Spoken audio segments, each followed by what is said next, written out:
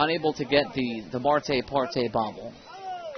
Gallas in the air to left field. This ball is hit well. Going back is Salcedo, and he can only watch this one land in the UPMC Health Plan Home Run Junction outfield reserve bleachers as this ball is gone.